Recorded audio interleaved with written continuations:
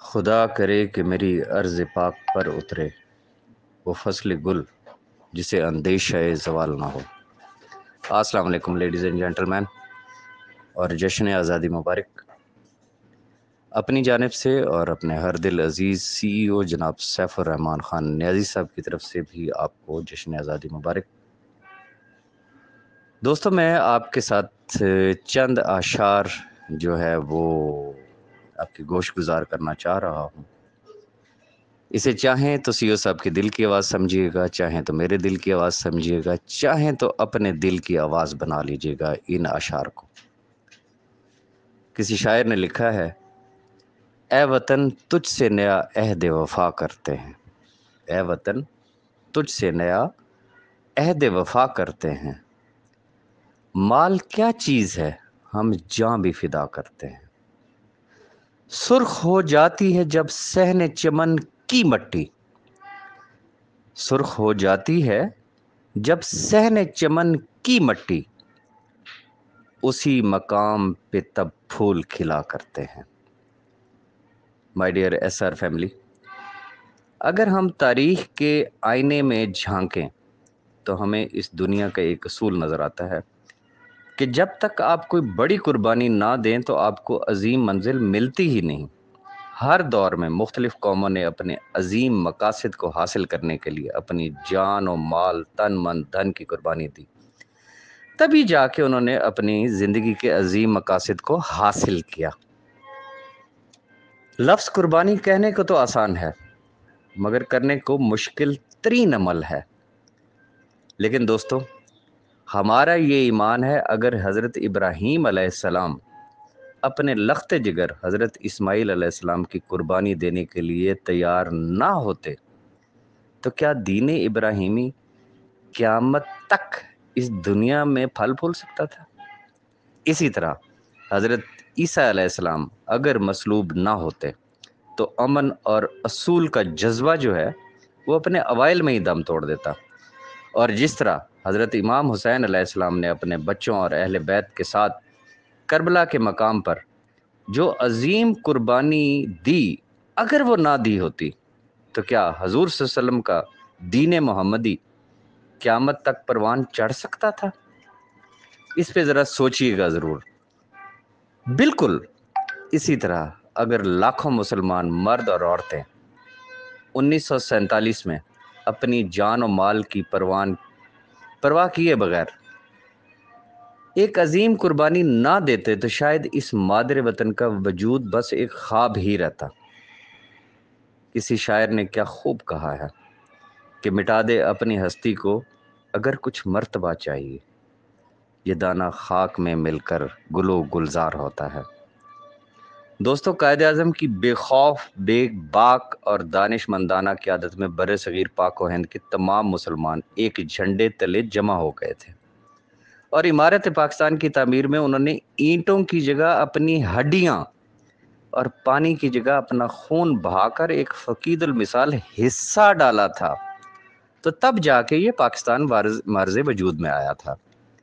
यूँ तुलु शहर के रोशन मंजर में खालिस्तान इस्लामी नज़रिया की बुनियाद पर पाकिस्तान का सूरज अपनी पूरे आबोताब के साथ यूँ चमका कि कुफर के तमाम बुत गिर गए और हासदीन की तमाम साजिशें हमेशा के लिए दम तोड़ गईं।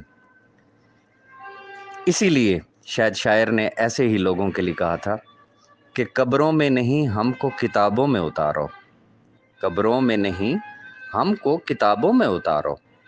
हम लोग मोहब्बत की कहानी में मरे हैं। चौदह अगस्त का दिन सिर्फ़ खुशी का जश्न मनाने का दिन नहीं है। मेरे पीछे से भी आपको ये बाजों की आवाज़ें आ रही होंगी। ये खुशी मनाई जा रही है, ये जश्न मनाया जा रहा है। हालाँकि ये दिन हमें सबक देता है कि एक तो आज़ादी बड़ी नेमत है। दूसरा ये कि किसी चीज़ को हासिल कर लेना कमाल नहीं। बल्कि उसके हसूल को तरक्की के जीनों पर रवा दवा रखना असल कमाल है। ये दिन हमें सबक देता है कि गैरत और असूलों की पासदारी करते हुए अपने वतन की तरक्की में बढ़ चढ़ कर हिस्सा लें। सिंधी, बलोची, पंजाबी, पठान और कश्मीरी के अलग अलग नज़रियात में बटने के बजाय एक पाकिस्तानी होने पर फ़ख्र महसूस करें। इसी तरह मुख्तलिफ़ फ़िरक़ों और मसालिक में तकसीम होने की बजाय एक मुसलमान कौम बनकर तोहीद के परचम को बुलंद करें। मैं दोस्तों से सिर्फ़ एक गुजारिश करना चाहूँगा कि मुश्किल वक्त गुजर गया। मैं आज आपको शायद ये एक कबल अज वक्त बात होगी, लेकिन मेरे इन लफ्ज़ों को अपने पास लिख के रख लें कि जब इनशाला इनशाला इनशाला सिर्फ़ अब बात दिनों की रह गई है। मंजिल बहुत करीब है। हम मंजिल के बहुत करीब हैं। आज अगर कौम जश्न आज़ादी मना रही है तो इन अब दिनों की बात है। S R group of company और एस आर की तमाम फैमिली मेंबर्स इन इसी तरीके का जश्न आज़ादी मनाएँगे। लेकिन वो जश्न आज़ादी किससे होगा? किससे आज़ादी हासिल करेंगे हम? वो लोग जो सिर्फ़ हसद की निगाह से, जिन्होंने आज दिन तक फ्रॉम द डे वन पिछले पाँच साल से हमें देखा, हमारे सीईओ साहब को देखा, आज भी देख रहे हैं और अगले पाँच साल भी देखते रहेंगे। ये जहन में रखिएगा। अब वो टाइम आ गया है कि इन शजीज़ फ़तह और नसरत बिल्कुल करीब है। आपको किसी जगह भी परेशान होने की ज़रूरत नहीं है। इन फ़तह और कामरानी इन इनशाला इनशाला लजीज़ हमारे सी ओ साहब का और आप सब का मुकद्दर है। मेरी बात को किसी गलत एंगल में मत लीजिएगा, क्योंकि बहुत सारी बातें की जा रही हैं इस हवाले से। मैं सिर्फ़, मेरा एक कामिल ईमान है कि फ़तह और नुसरत क्यों मिलेगी? उसकी वजह सिर्फ़ और सिर्फ़ एक है कि हमारे सीओ साहब की नीयत नेक है।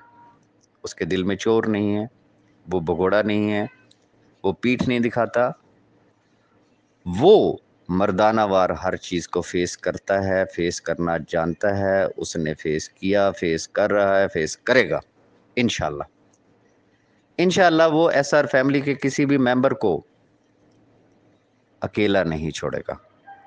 और अब जब फतह करीब है तो मैं ऐसे तमाम अहबाब तमाम अहबाब को अपनी तरफ़ से भी और सी ओ साहब की तरफ़ से भी मैं उनका तहे दिल से मशहूर हूँ, चूँकि मैं जानता हूँ। मेरे पास वो ऑडियोज़ वो स्क्रीन भरे पड़े हैं, भरे पड़े हैं।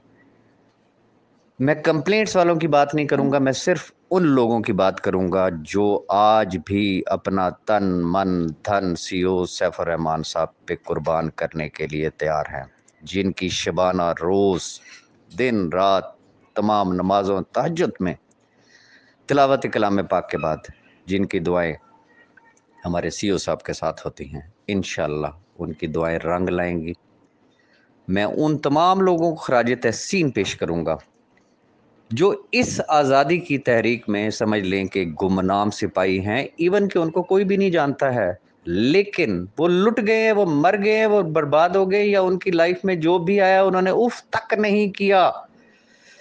वो आज भी सैफुर रहमान खान न्याजी के कंधे के साथ कंधा जोड़कर खड़े हुए हैं। और मैं जानता हूँ कि ऐसे तमाम अहबाब की हमारे सीओ साहब के दिल में उनकी क्या कदर है यह आने वाला वक्त साबित करेगा।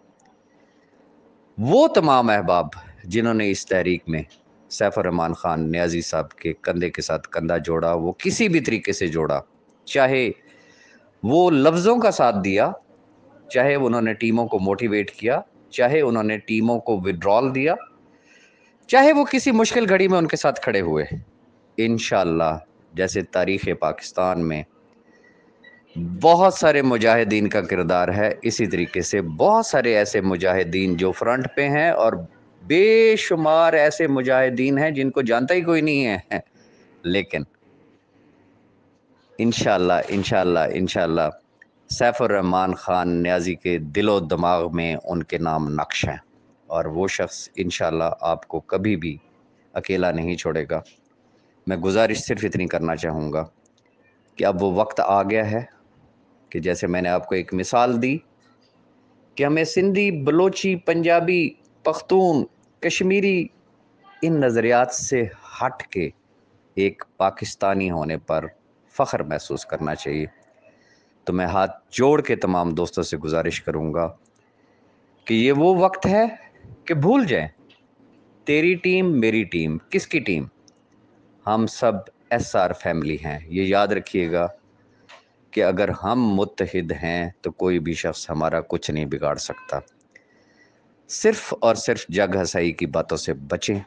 आपस में प्यार और मोहब्बत से रहें। एक दूसरे के साथ कॉपरेट करें। इस यकीन के साथ कि जो रिस्क आपके नसीब में है वो कोई शख्स भी नहीं छीन सकता है। और अपने रिस्क को हलाल करके खाएँ। मुश्किल वक्त गुज़र गया है।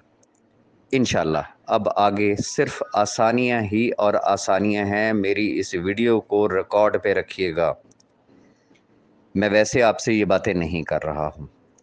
मैं कुछ देख के, कुछ सोच के, कुछ समझ के ये बात कर रहा हूँ। और आखिर में मैं खराज तहसीन पेश करना चाहूँगा। हमारे सीईओ सैफुररहमान ख़ान न्याजी को। उनकी अज़मत को सलाम है। This is fact this is fact मैं कहता हूँ, जहाँ लोगों की सोच ख़त्म होती है, वहाँ से उस शख्स की सोच शुरू होती है। मैंने कुछ शायद दो दिन पहले एक पिक्चर शेयर की थी और उसमें मैंने लिखा था कि अभी तो पार्टी शुरू हुई है। मस्ट बिलीव कि अभी जस्ट पार्टी शुरू हुई है। अब आने वाला हर दिन, आने वाला हर हफ़्ता, आने वाला हर महीना। इनशाला इनशाला इनशाला जहाँ जहाँ भी आप मुकीम हैं, दुनिया के किसी भी कोने में आप मुकीम हैं इन आपको S R ji, S R ji, S R ji, इसके अलावा और कुछ भी नहीं मिलेगा। बाकी इन मैं गाहे बगाए बहुत सारी चीज़ें जो है वो अपने चैनल पे अपडेट करता रहता हूँ। अगर आपने मेरा चैनल सब्सक्राइब किया हुआ है तो इट्स ओके नहीं किया हुआ तो अब कर लें, ताकि आपको आने वाली अगली वीडियो का नोटिफिकेशन मिल सके। अपनी दुआओं में याद रखिएगा। बहुत शुक्रिया वंस अगेन जश्न आज़ादी मुबारक एंड अल्लाह हाफिज़।